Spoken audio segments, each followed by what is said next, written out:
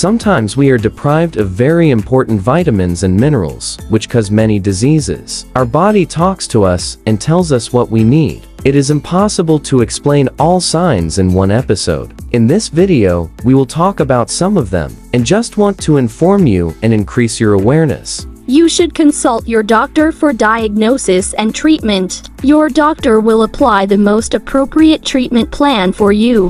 Bleeding or redden, swollen gums.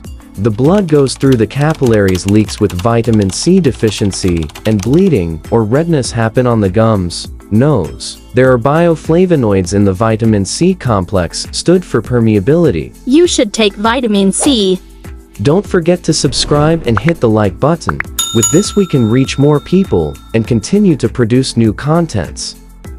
Night vision issues. If you can't see in the dark or have a hard time seeing clearly, it is because of vitamin A deficiency or night blindness. Eating so many refined grains, vegetables, and plants, but not eating enough animal products might cause retinol deficiency. It is hard for you to convert into the, the active form of vitamin A, which is retinol.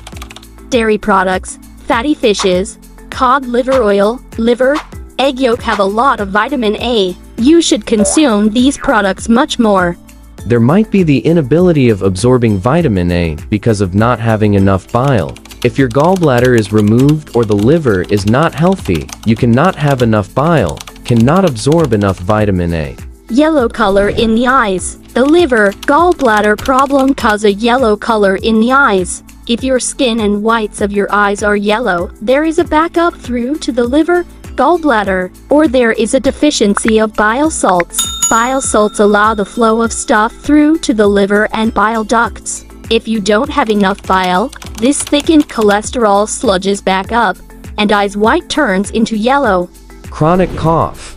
If there is a calcium deficiency, it may cause a chronic cough. A little calcium improves the immune system, also relaxes the throat and larynx. Calcium deficiency makes spasms on the larynx or tightness in your throat. Before going to bed, taking 200 milligrams L-calcium lactate might help you. It is like taking calcium for cramping in your legs, but be sure not to use calcium carbonate for this situation.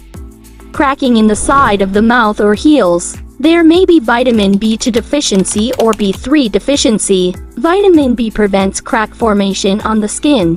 In winter, our hands get very cracked because there is a lack of vitamin D. Vitamin D feeds the beneficial bacteria in our body.